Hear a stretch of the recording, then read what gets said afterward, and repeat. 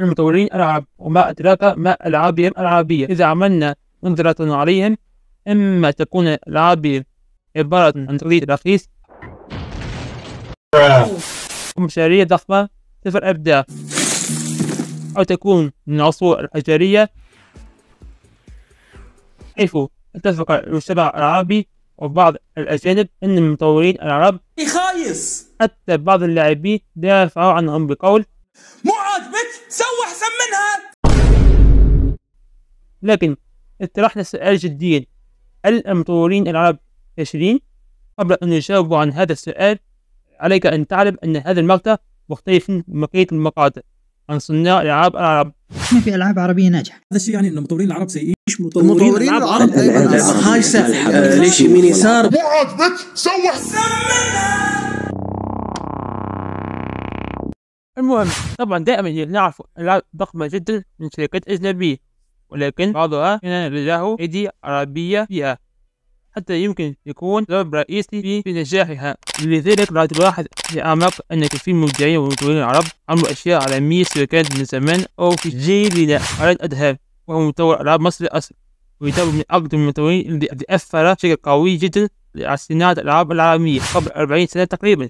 كان مبرمج أساسي. لألعاب بسيطة متواضعة مثل راو تايم إنكس سلاينجر في عام 1991 أسس شركة مع شخصين أجنبيين اسمها ريزارد انترتينمنت ومخرج لسلسلة وورد كرافت ديابلو ستار كرافت وأن في شخص مغربي اسمه محمد خنبوز الذي كان مصمم 3D في فرع يوبيسوفت المغربي.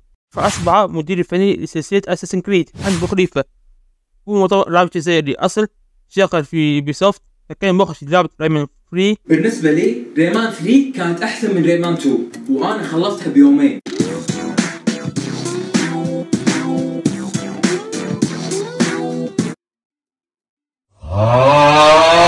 أسس مع شخصين استوديو جديد باسم يوسف Ivory Tower.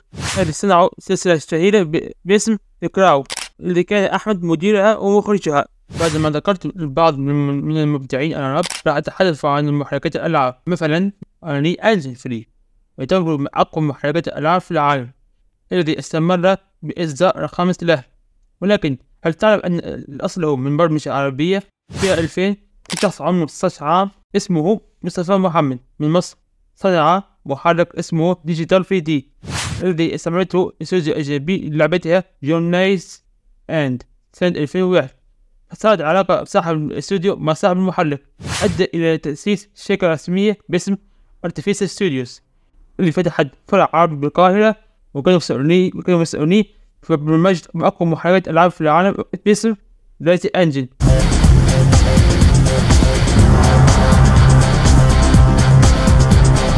ولكن في عام 2005 قامت الشركة ببيعه ل Epic Games وطورته إلى Unreal Three كما أن محرك Dunia Engine الذي يعتبر أيضا من أقوى محركات الألعاب في العالم من الناحية البصرية وأصله من مصمم عربي مسلم لأن في 2008 تقريبا في شخص اسمه كرمان أبو بكر صممه لشركة Crytek الألمانية ولكن Ubisoft اشترت وعدلت وطورت السلسلة الأسطورية Far Cry من 2008 إلى 2022 من محركات الألعاب إلى الألعاب نفسها حيث بعض الألعاب الرهيبة تكون نسلها من مطورين الألعاب. فسلسلة رايمن الجديدة أساسا كان في استوديو عربي أساسي لها تسويلها باسم يوبيسوفت الدار البيضاء بالمغرب الذي كان شغالين في جزئين رامن أوريجينز ورامن ليجندز. حتى عملوا جزئين خاص به باسم رامن جاكر ران بالتعاون مع استوديو إل جي بي باستا جيمز ورامن فيستران من صنع عربي أصيل.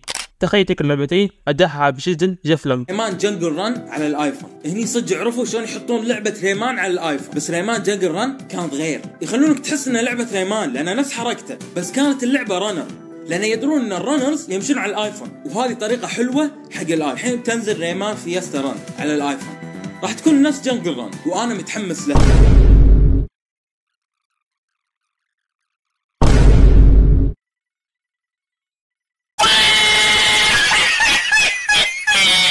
شنو؟ شنو مشكلتك؟ من أول ما شفت اللعبة وأنا القى تخبى بعيد. عيب.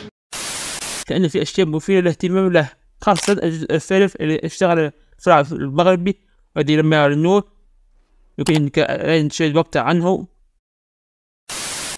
يمكن أنك سمعت على سلسلة ARK لعبة نجاة ضخمة بعالم مفتوح ولكن ما أحد يدري أن أحد, الاستديوهات الأساسية هي استوديو مصري باسم Instinct Games الذي عملت مقطع الذي عملت مقطعا من زمان من الألعاب الضخمة إلى الألعاب ال indie الذي تعتبر أغرب مما يعتقد المجتمع العربي.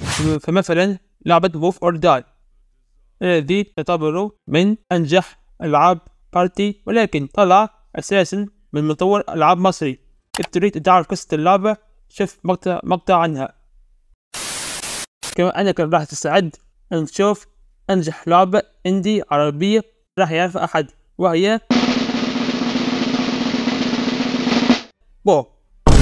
كما تسمع بالضبط. تخيل تلك اللعبة جوال. حق أطفال من مصمم لبناني عربي.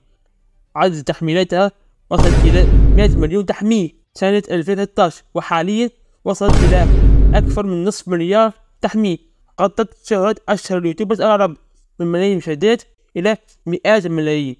صحيح أن في بعض الألعاب من المطورين العرب نجحت نجاح باهر مثل سفاكتور من مصر ولعبة بطوط من استوديو الدار البيضاء في المغرب ولعبة السن من شخص واحد ولكن لم يصلوا مثل ما وصلت تلك اللعبة الغريبة. لذلك أهنئ هذا المطور العربي وطبعا هناك كثير من الألعاب المستقلة الذي لم ترى النور مثل The Octopus City و The Chainsaw Accident.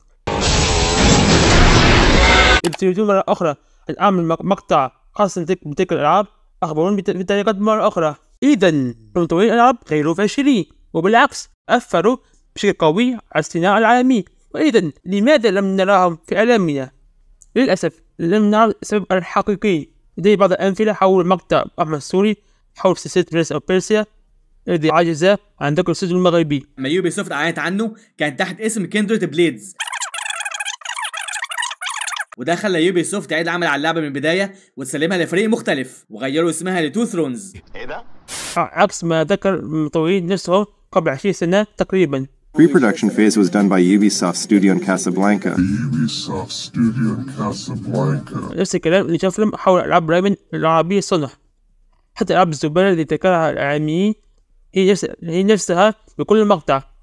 لا حل لا حل لنا إلا أن ننتظر المطورين الألعاب المبدعين وحسب ما يقول جفلم إذا ما تعرف تسوي شيء لا تسويه. تدري متى تسويه؟ لما تعرف متى تسويه. تعلم شلون تسويه. وش- وشكرا لمشاهدة المقطع وأتمنى أن تعملوا لايك واشتراك وضغط على الجرس حتى يصل- يصلك كل شيء. ومع السلامة.